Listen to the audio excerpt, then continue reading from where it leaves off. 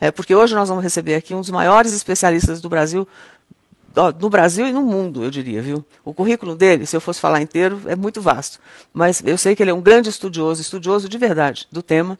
E ele é diretor-geral do Centro de Oncologia da Beneficência Portuguesa, aqui em São Paulo. Ele está lá já há 13 anos.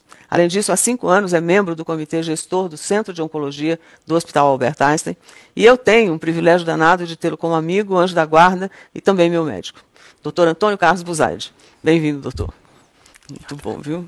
Tê-lo aqui com a gente. Muito obrigada. Prazer. Tem chegado, estão me dizendo aqui agora, tem chegado muitas perguntas a respeito de se tem algum alimento que possa prevenir o câncer. Essa área eu adoro, você sabe disso. Eu mas eu vou dar uma mensagem simples. Uma vez eu falei isso no seu programa, mas agora é sério. Ouçam com atenção. Se você quer reduzir o risco de câncer, alimentando-se de modo saudável, a receita é simples. Não precisa pagar nutricionista, não precisa pagar ninguém consulta cara. A dieta chama dieta divina. Como assim, Buzaide? É para comer só o que Deus fez. Eu acho ótimo. Então você olha, fala, foi Deus? Não foi? Tá fora. Simples assim. Para dar alguns exemplos aqui. Deus não fez petit gâteau com sorvete, não fez creme brulee, não fez cheesecake, não fez bolachinha. Não fez linguiça. Nem vou comentar da linguiça, senão eu me emociono. Então, gás não fez nada disso. Presunto, mortadela. Então, você quer uma dieta que reduz o risco de câncer? Eu vou lhe dar já. É a dieta divina. O duro é a execução. Mas a receita é simples. Não, se você quiser pagar dois mil reais para um nutricionista, com certeza você vai achar um. Mas se você seguir o que eu estou falando, você vai reduzir o risco. Por exemplo, a dieta inflamatória em adolescentes. O que é dieta inflamatória? É a dieta muito rica em carboidrato. O que o adolescente adora comer? Doces, refrigerantes, sucos. Isso é tudo péssimo.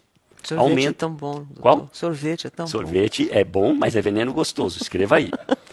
O ponto é que isso aumenta o risco de câncer em mulher jovem. Eu vejo mulheres hoje com 30 anos, eu procuro causas genéticas, não acho nada. Aí você vai tirar uma história. Ah, quando eu era jovem, o doutor comia muita porcaria.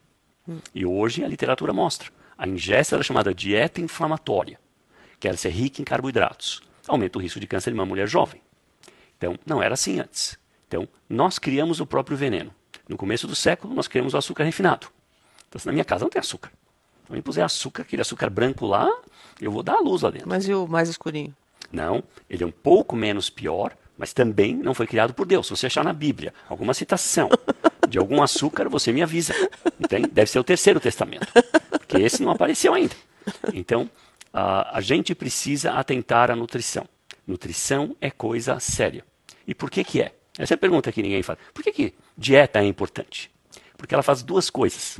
Primeiro, ela modula o sistema imune. Quando você estava em imunoterapia, eu falei, Ana, ouça com atenção, dieta divina, só pode comer coisa saudável porque o seu sistema imune fica mais ativo, fica melhor. Essa é a primeira parte.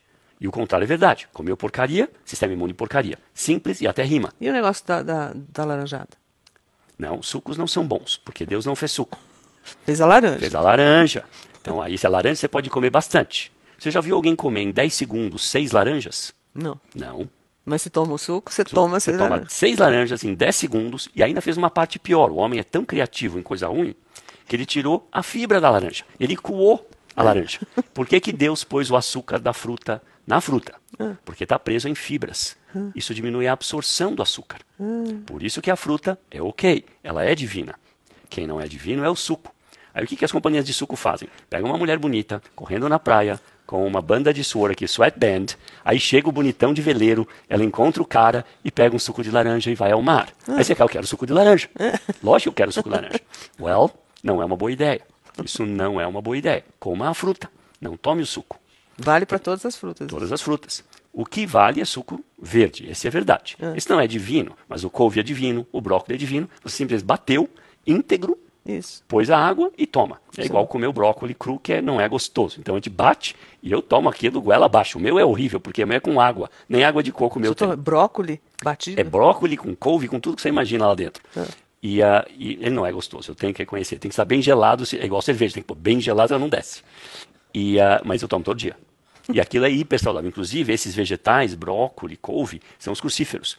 Muito anticâncer. Muito anticâncer. Então, Ouça Dieta Divina.